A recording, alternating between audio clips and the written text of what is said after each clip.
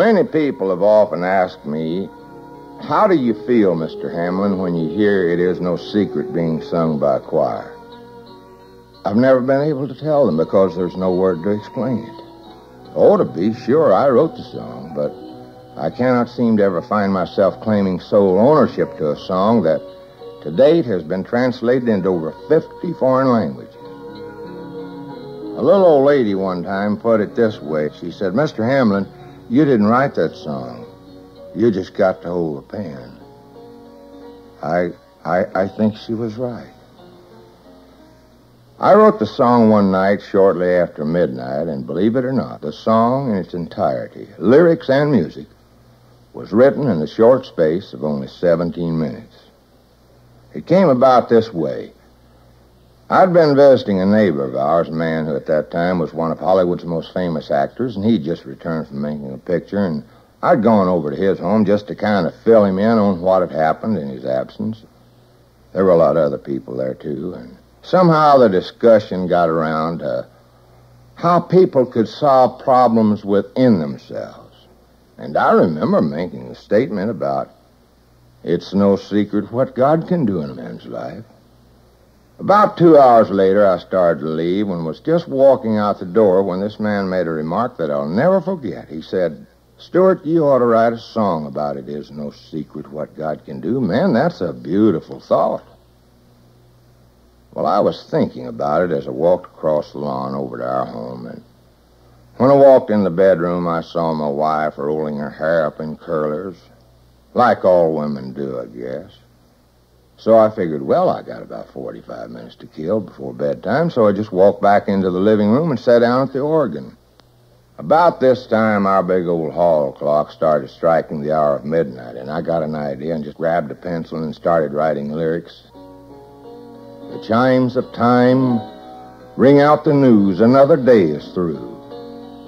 Someone slipped and fell. Was that someone you? You may have longed for added strength, your courage to renew. Do not be disheartened, for I have news for you. It is no secret what God can do. Well, when I'd finished the song, I remember exactly what went through my mind as I sat there and reread those lyrics in the music. It was, without a doubt, the most simple song that I'd ever written. I thought about calling my wife in to see how she liked the new song, and thinking it surely must be three o'clock or later, I just turned and glanced at the hall clock. It was just 17 minutes past 12, and I couldn't believe it. I have never been able to compose any musical composition under three or four hours. But that night, as I looked at that clock, I thought it stopped, but I could see that big old pendulum still swinging. My wife came in, sat down, and began playing the melody, and after she'd played it a couple of times, I was surprised to see tears welling up in her eyes. What's the matter, baby? I said to her. That's the simplest, most ordinary song I've ever written. Why should it make you sad? Women amaze me. When they're happy, they cry. When they're sad, they cry. You can just never tell, can you? Tears can never be a barometer to what's going on in a woman's heart. I'm not sad, she said, looking at me through those tears. I'm happy. This is not an ordinary song. It's the most beautiful thing you've ever written. It tells a wonderful story, so simple and so beautifully told, that all people all over the world can surely know it is no secret what God can do in their lives. Yeah, I'll remember that night. I'll always remember that night. I remember, too, the great thrill I got when Billy Graham asked me to come to New York to sing that song at Madison Square Garden.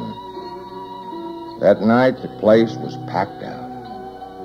The choir had over 3,000 voices in it. Cliff Barrows was the director.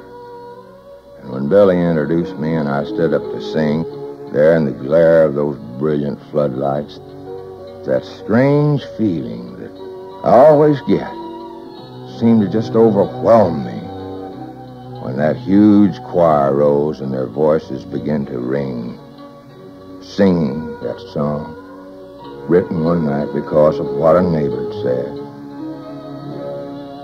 Because a big old hall clock began striking the hour of midnight.